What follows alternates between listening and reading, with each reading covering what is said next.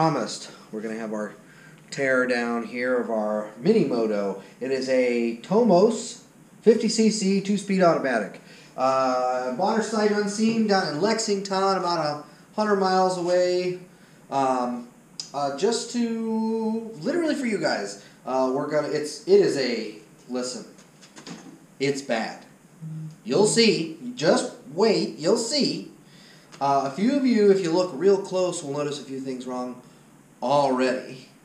But I digress. Uh, this is going to be uh, part one of the three-part series of a little, uh, let's call it mini ADV build. Just you can literally do adventure with anything, literally anything. I paid a hundred bucks for this thing. Uh, it's going to cruise probably around 40, 45 without spending too much money on it. Um, but we've got a we've got good bones here. We've got a nice tank. Uh, I'll get you guys in there a little deeper in a second. Uh, but we've got a good tank. Uh, the frame is definitely, or the swing arm is definitely twisted. That's just so it turns easier in the right hand side. It's fine. That's custom. Uh, that's next level stuff. Uh, but yeah, let's uh, let's go over the basics. 16 inch wheels, not the best ground clearance for adventure, but we're gonna we're gonna stay light. We're gonna do a little bit of travel, a little bit of off road, nothing crazy. Again, you don't have to go overboard to have an adventure. So so far, and we'll keep uh, we'll keep track of the let's say cost. Um, uh, so right now we're at about hundred bucks, uh, which that's great so far. But we, again, haven't gotten into this very hard uh, to see what we see. Uh, we've got electricals, not great. Uh, we're missing that. Uh, the tail light's gone. Uh, we might have a usable headlight in here. Uh, but this is this whole dash is all but useless. Um, I know a little bit about these already. this is upside down. The head is upside down. Um, so yeah, somebody has been in there who shouldn't be. Uh, the carburetor, and we'll uh, once I do a, a, quick overview of what I just see from looking at it, I'll get you guys into the details. Uh, the carburetor has a regular washer in the top, holding everything down with entirely too much RTV already.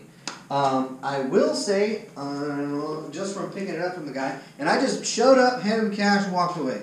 Uh, this, it sounds like gravel. The transmission sounds like gravel. That's probably good. Uh, very tight tolerance. That's definitely going to work out in my favor. Favor. Uh, but the cool thing is, because this is a more modern version, we got nice, beefy mag wheels. Should have the bigger brakes on it. Uh, we've got an electronic ignition. We've got a, actually a regulator rectifier. So if I wanted to run a battery or some uh, 12 volt DC, for accessories like USB ports or maybe even a little bit of heated gear. Uh, it is winter. Uh, we've got that. Plus, it's got the more modern seat. Listen, I'm getting old. My back hurts. I need a good seat. Uh, these handlebars, they're, they are handlebars. So those are fixed. Uh, we've got half of all of the electronic controls. So we're going to get rid of all that. We're going to, the wiring over here. I, just wait. Just wait a second. We'll get there. so it's it's really rough. But again, it's a hundred bucks. Uh, and I get to flex a little bit uh, my mechanical chops. Uh, shouldn't be too much work. Uh, but yeah, so let's uh, let's pick you guys up and take you around. Right here, let's see. So the carb, as you can see, has a a flat washer on the top that's just held down by a screw. That is not how that works. Our head here is upside down, see it doesn't really line up with nothing. And then if you come back all the way around, you can see that nothing is straight. Bonk. So she got bonked somewhere. Uh, but we're gonna we're gonna try and straighten all that out.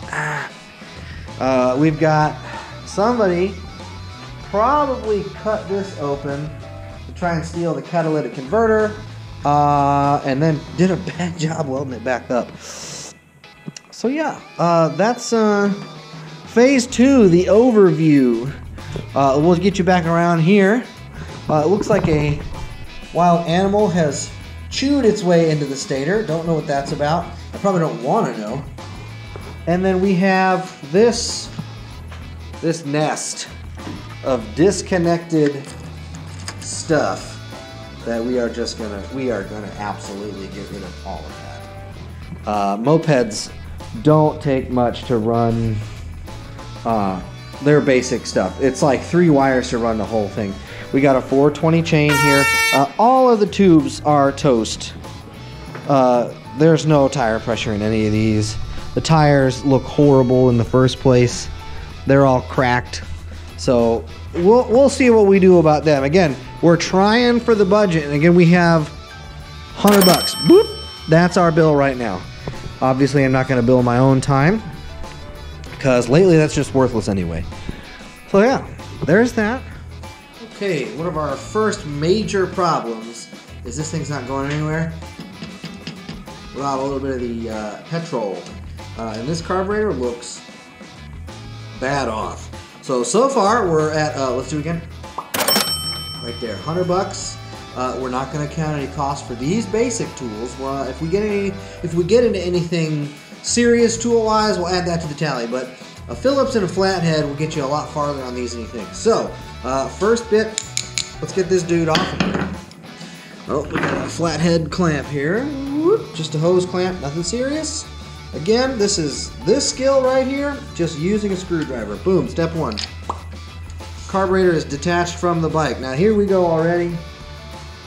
Look, just, oh, that's way too much RTV. That's fine. Uh, but we are still attached to the bike via this very loose uh, throttle cable. Uh, you shouldn't really have uh, about an inch of slack in there, so you're you're already we're lost there, and we got a little flathead up here too. So let's uh, release this washer that's holding it on, and the whole slide assembly should be coming out. Yep, there it is. All right, we got our needle, we got everything. Oh, that is that is what we're calling in the industry. Let's see, custom. Uh, so this is practically useless. Uh, we'll figure that out later. So step one, we got to do something about the carburetor. Okay. Hello. Our next bit of kit. Now, this, I literally have not touched any of this yet. This was finger tight. Spark plug. Spark plug. Beat camera. Camera, spark plug. Now, that's kind of a good sign. The color is darker. You don't want a big white uh, super hot plug. That means she's been getting too lean, which means air leaks or a bad fuel mix. This is pretty dark, which is better than not.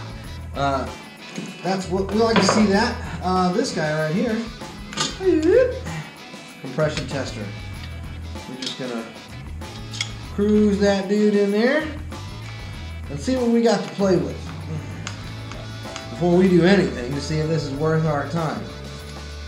Now you're seeing this as I'm seeing it. This is no no spare takes. All right, you guys you guys watch out while I give this a crank or two. Hiya! Hiya! What do we got there? What does it say? Oh, yes. Ooh, right at 120. That's that is almost exactly where we want to be. These aren't very high compression. Uh, they're not high performance, so 120 is overqualified. All right, so that means we got a good cylinder and piston, which saves us. All right, so we're done with that. So with that, uh, that's great news. Compression, that's a huge one. Uh, the carburetor is a little bit of a bummer. We haven't even opened that up yet. I'll get you guys on the bench, and we'll take a peek. Uh, likely going to replace it. Uh, spoiler alert, uh, I have worked on mopeds before. I might actually just have one. Uh, so I'm not going to tally that one up if we have to replace it because it's just laying around. Uh, that's a great thing about little bikes like these when you get into them. You start to accrue many parts, so uh, maintaining them doesn't really become a problem. All right, uh, with that, we're going to move on to the electricals. Now we're going to move on to the electrical. Now we can see that it has a stator, and it is spinning and not loose through the beaver hole, which is good. We have to take all this off. Uh, we see that we have a plug boot and wire that goes back to our ignition coil. Uh, this is electronic ignition, so there's no points to adjust or anything like that. Benefit of buying new. Nothing wrong with an old set of points, but this is what was presented to me. Uh, so we see that it is hooked up in some fashion. Hopefully, there isn't something wrong with these switches up here. Or there's a missing key switch or something. Uh, so what we're to do, we're to put the spark plug back in.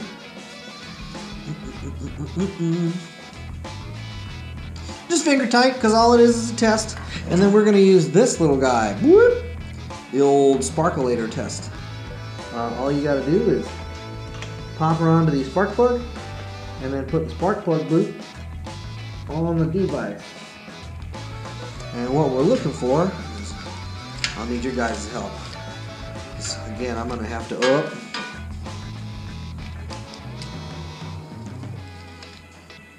I'm going to be pushing this thing over. You guys keep an eye on that. See if we get an orange light. Oh, wait. You guys can't see it. There, just let me know.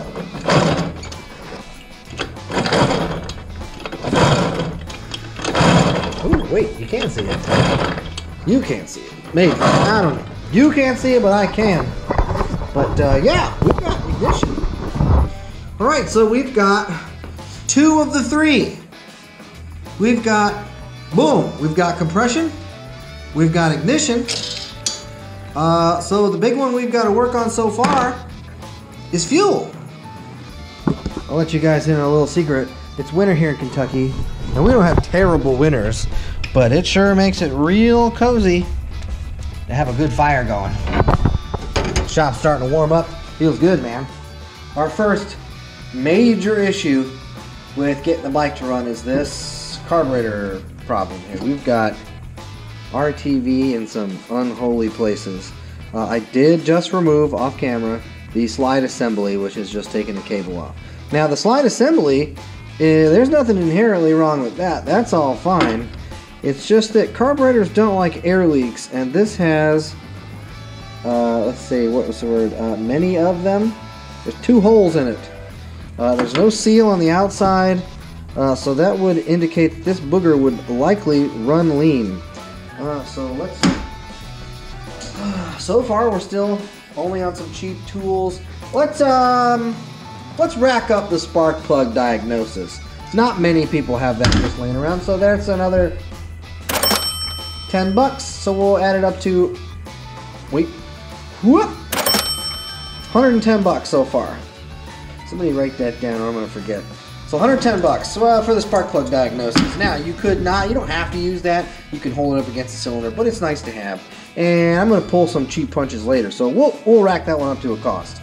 Uh, bingo! All we've got here is a couple of Phillips screwdrivers.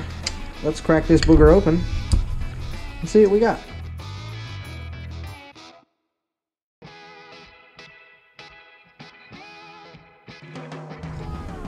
Oh, yo! So the car body itself, if you just take a gander, doesn't look too bad. Not the worst thing. Um, there's one problem though. The bowl where the fuel is actually stored is, um, if you can see it, pretty horrendous. There is some nasty stuff in the bottom of that.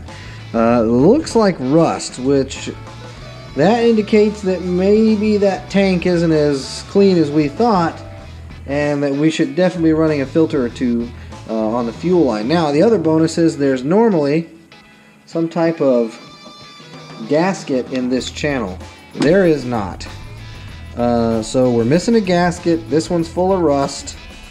Um, this appears to be uh, a Chinese replica of the original carburetor. So not only did they lose the first one, uh, they ruined this Chinese one. so yeah, I think we're gonna um, chalk that up to a total loss. Maybe keep it for parts or jets or something. But uh, this one's this is not good. It's probably savable. You can order the top uh, cover, you can clean it out, order the gasket, and you're fine. But again, we're on the budget, and I'm pretty sure I have another one. Boom! Turns out I did. Uh, we did, in fact, change the carburetor style on my wife's moped. So we have a complete uh, stock carburetor, like the original stock carburetor. There, you go, you got Dell'Orto. So we're returning her back to her former glory. Uh, the bike that I had this on was running when we took it off, so I don't think we need to take it apart and clean it, which saves us a little bit of time. But we'll see. With the rest this in that tank, uh, I fear that before this video is over, uh, we are going to end up taking this apart once or twice just to clean her out. Okay, our next bit of work is the transmission. Now this has a two-speed automatic. There are two, count them, two clutches in this bad boy. Uh, and when I turned it over, it sounded like somebody has been keeping their rock collection in here. So we are going to address that as best we can. And cue the hyperlapse.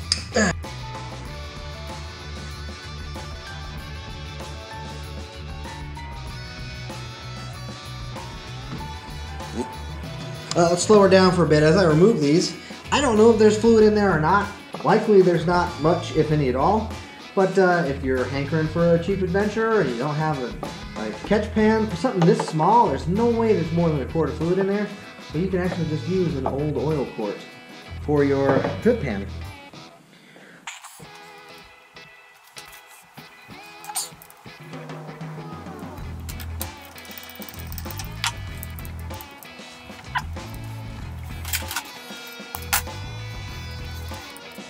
Okay, that's the last bolt for the side cover.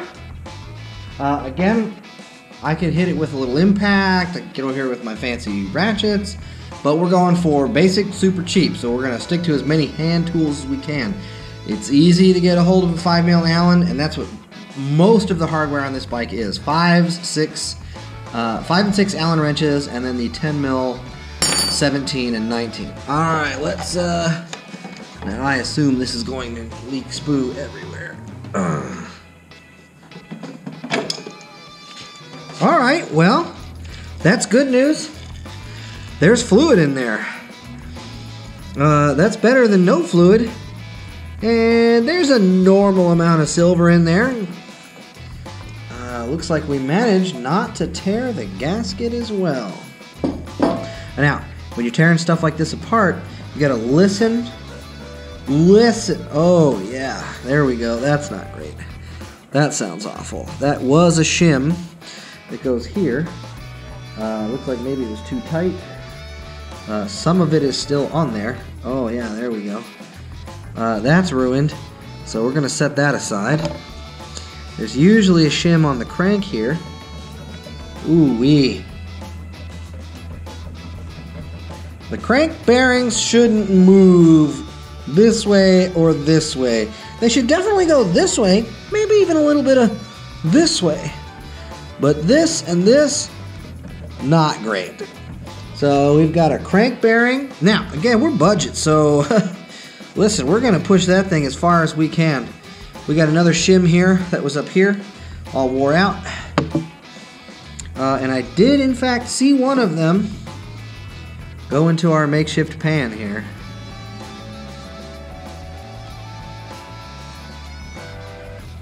Oh, maybe not. I don't see it.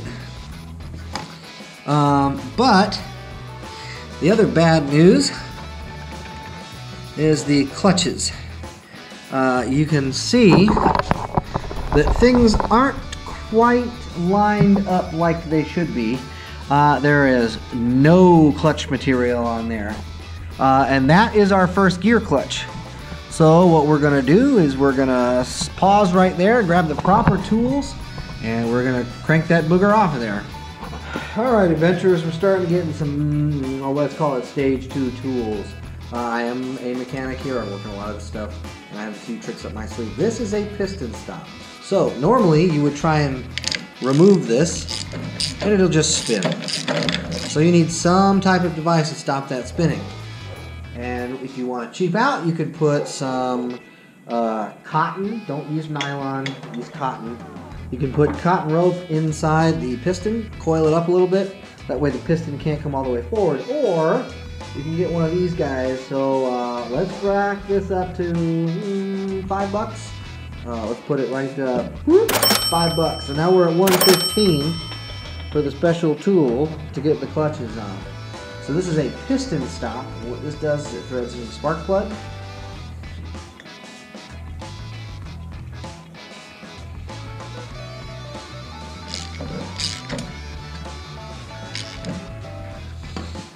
So you can thread that all the way in, and when that does is it puts the post in the way of the piston, so the piston cannot come forward anymore. And then she she locks up. You can give the crank bolt a little ooh, a little crackerino, and now not only am I diving into that, I'm diving into what I would refer to as a basic mechanics uh, toolkit. We've got a 3 8 ratchet. Mine happens to be gold plated. I did get the Harbor Freight April Fool special. Uh, love this thing. It is actually a very nice ratchet. Uh, it is plated, so it's not a bad ratchet. It's not just soft gold, but it's very nice. I love using it. And then some basic extension with a 17 on there. Uh, if you are a basic mechanic, you should have these kinds of tools. So there's our whoop, crank nut, and then the clutch pack comes right off. Do not lose this shim. That keeps the clutch pack from going too far in rubbing on your gearing. So there's our crank shim. We're gonna drop out first gear. And yeah, there is no clutch material left. Now, this is just the tear down video. So we'll when we go into the rebuild video, we'll hit you guys up with how to repair this on the cheap. But it's gonna cost a little bit, a couple bucks, nothing crazy yet. You can order them, but they are a little salty, especially for our budget video. Uh, but the actual unit itself doesn't seem to be damaged. It looks like it can be doctored up. Uh, and we'll get to that in the next video. Let's take a look at the... Oh, yes. Again, second gear. Uh, the unit is in much better shape. Everything's where it should be. That's how it should look with the clips in the right spot. But you can clearly see no clutch material. So this thing's been rode hard and put away harder. So we're definitely gonna have to rebuild the clutches and we can do that on the short and cheap. Not a huge deal. The biggest deal is this clutch play. That's not great. Oh yeah. Uh, that would require us to disassemble the top end, drop the motor, pull the crankcase apart, order the correct bearings, take them off the crank. That is not what this video is about. So we are going to not do that. Keep in mind, this is a $100 moped. We're not going to do that. We're just going to see how far these little guys can get us without blowing up. Uh, and if it does blow up, then it's time for the rebuild. But it does currently spin without too much resistance. We're going to leave them. Uh, this is not what I would do if it were a customer bike. If that were an issue, I would immediately tell them it's time for the rebuild. Again, not what this video is about. This is a budget adventure build. Let's call it Mad Max style fix. Uh, it does still work. It just sounds awful. It will be a problem. It just depends on when it decides to be that problem. Now, this bearing, on the other hand, that feels really good.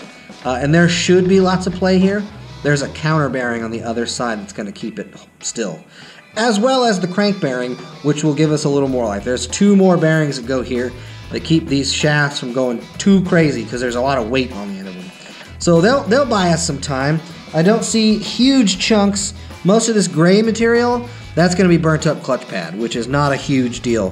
What we don't want to see is real shiny material, uh, which would tell us that the gears are chewed up or the cases are chewed up. We don't see that.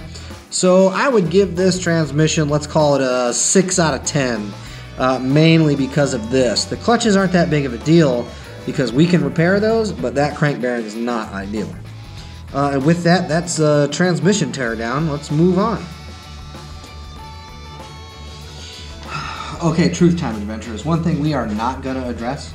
Uh, we did do the compression test, uh, and we're at 120 pounds, So there's really no reason for me to put this the right way around. It's not hurting anything. Um, what we don't want to do is pull it off because then whatever gasket they're using in there, uh, you'd likely have to replace. You don't want to reuse a head gasket. So uh, we're gonna go with the motto of if it ain't broke, don't fix it. Uh, and if it's just a little broke, uh, ride it anyway.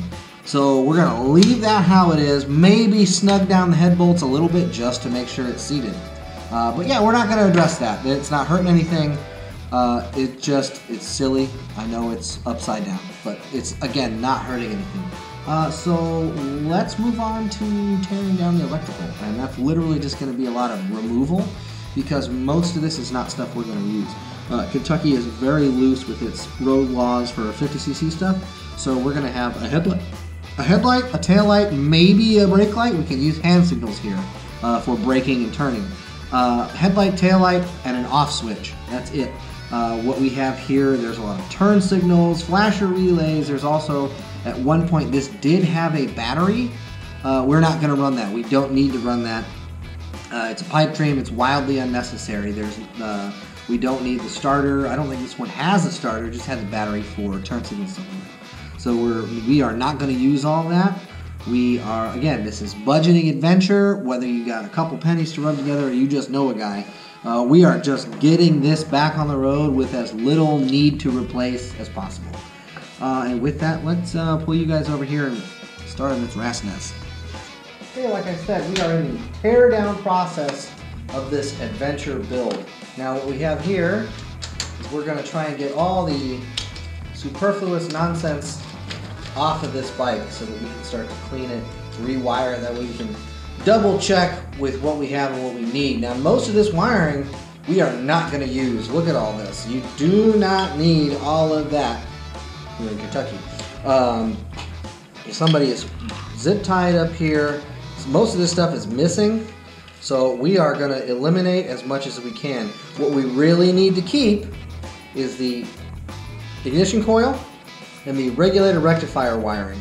Uh, ignition coil is going to obviously supply power uh, to the ignition, the spark plugs. It's going to run all that. This is where all the uh, computer is for running the ignition. So it's like three wires. That one's very easy.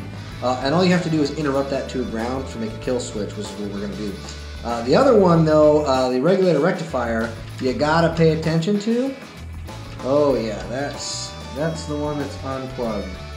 Uh, regulator rectifier, very important. That's our lights. We are we have no lights without that. So we're gonna have to rescue that. In the meantime, let's get all this stuff out of here. Cue the hyperspeed.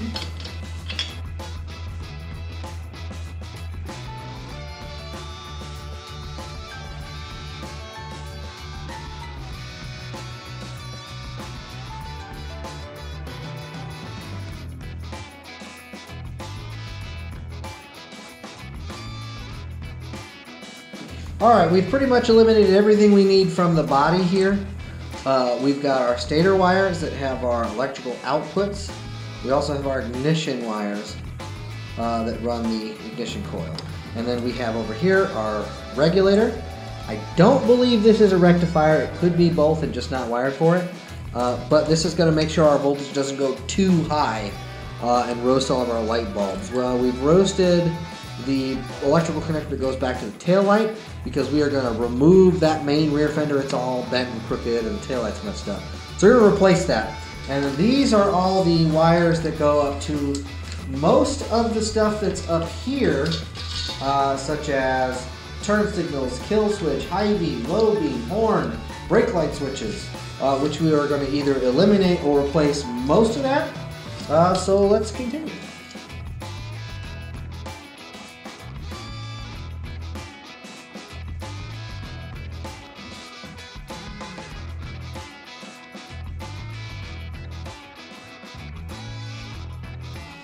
Like I said, most of this is all 5 millimeter Allen, 6 millimeter Allen, and a 10 millimeter wrench. Uh, we are going to hang on to the throttle here. There doesn't actually appear to be anything wrong with it. It's actuating properly. It seems to be the stock one, so we should be able to use that with the carburetor I have. So we're just going to wrap that dude around and save him for later. That saves us probably 10 or 15 bucks. And again, I think we're probably at what 115. 115 bucks so far. Uh, we're gonna get rid of all this garbage. Oh. Uh, we are gonna try and maybe save our horn wiring.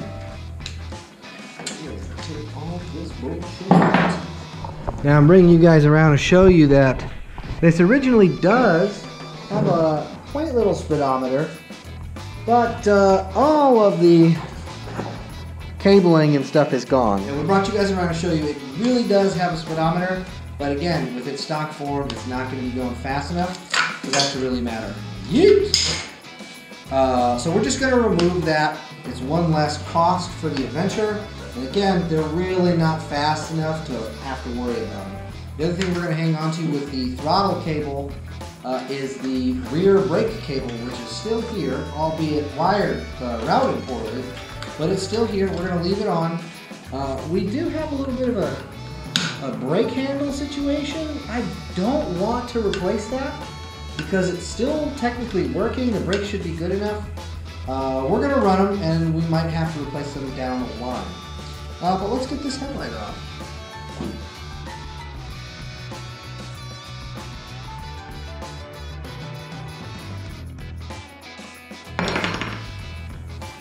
Pro tip, when you are removing things, uh, keep the hardware. You never know when you need extra nuts and bolts. Uh, stuff rattles off. Ah, there we go. All right, that's all gone. We're not going to use these. Whoop. Those are gone. Now, these ears, these headlight ears, are a little loose, uh, but we may end up using them to mount up our new headlight. Uh, likely I'm going to run something LED so that uh, even with as little output power as this has, it's still going to be very, very bright. Uh, we've got a couple of little cable guides here. Uh, so that's that's pretty much the teardown of the upper controls. What we need is a, a kill switch and we need a headlight. So there, we'll dig around in the bin, see what we have. Might have to make a purchase. Just noticed that it's missing the top nut. That's cool. I'm gonna track that down. Uh, but yeah, we so far we have a, a left rear brake that we can use. It is usable. It needs adjustment. Uh, we don't currently have a front brake, so we're gonna have to source that out. Uh, we do want brakes, brakes, brakes, brakes. Don't skimp on the brakes. Everywhere else, not the brakes, because you know 45 doesn't sound that bad. You don't want to hit anything at 45 miles an hour. Uh, so this is pretty much our teardown. Uh, we do need tires. Do we need tires, man? I don't know. These are probably fine. I might uh, root around in the old friend group and find some 16 inch uh, off-road tires just to make it a little more adventure. Uh, I likely will not be purchasing anything crazy. Uh, but yeah, there's our teardown. Uh, so things that we need. So far, we're only what uh, 115 in. Ready? Whoop! 115. And things that we need. Uh, clearly, the tubes are gone, so we need tubes. Uh, we need tubes. We need a headlight. We need a brake lever. And a tail light. And then we'll go from there. Uh, the rest of it is simply rewiring what is already here and we know is good. Uh, oh, also we need to reline the clutches. So that'll be part two in the video. Uh, thanks for hanging out in the garage with me. Uh, part two of the video will be the actual rebuild, the repair, and actually trying to get this thing to move under its own power. That one will probably be a little bit longer, but as an introduction, uh, this is what we have to work with. This is the bare bones. Uh, a lot of removal here to get rid of the stuff that's broken, doesn't doesn't work, or we don't need it. Uh, the other thing that we're going to have to inspect is that tank. Uh, but that's uh, in part two. We'll see you guys around.